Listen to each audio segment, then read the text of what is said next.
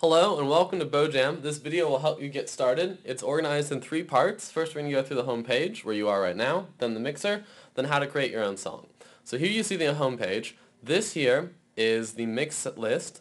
You notice each mix has the original artist, it has the title of it, and who owns the mix. You can click on this button here to preview the mix. It'll start playing right in your browser.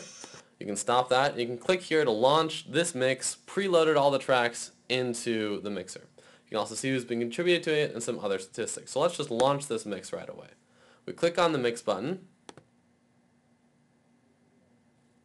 We're launched into the BoJam mixer. Now, you don't have to sign in, and you don't have to register to use the mixer, but you have to register in order to use the recorder, and if you want to get credited for your work, you have to register. So while that's loading, I'm going to show you the drawer over here.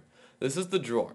The Songs tab is how you find songs. So we could have also loaded the song by clicking on Africa, which would open the song Africa, and here are the various mixes of it. If you double click on a mix, you'll load the mix, or if you open up a mix, you can double click on individual tracks and load just that tracks.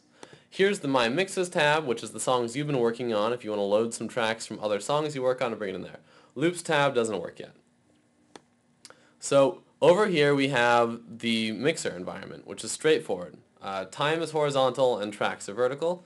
You have the transformer where you can control uh, playback and whatnot very easily. This plays loop play where it'll loop back and forth inside the blue section. If we want to load a local track out of my computer, you click here. If I want to start recording, click here, it'll add a new track. If I want to add a new track and then work with it later, I click on the plus button.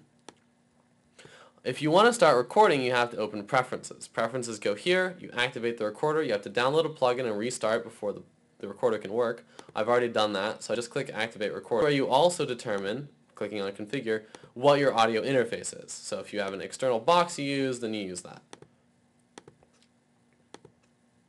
Now suppose I wanted to start my own song. I click on the Songs tab, or if I were on the home page, I could just click on the Start Recording button. So on the Songs tab, I click on Add Song. This will bring up this little pop-up style window where I put in the artist name, so it's me. Song title is instructional video. Totally misspelled. I choose the genre, this is acoustics, it's just me talking, and you would choose the tempo, the time signature, and the key. You can preview your time signature here, uh, your tempo to get a feel for how it's going for you. Um, whether or not it's too fast or too slow, etc. You want to fill out these things as accurately as possible to help other musicians to collaborate with you. I click add song, I've got my new song. I can record right here by clicking on the record button. The song's already been added. Click on the record button. The record is going, it's armed, it's picking up my voice as I speak. I tell it to stop. I save my mix, clicking on the save button. It's already saved. And then when I go back to the BoJam home page, I can go to the most recently updated. I see my video. I see my song right there.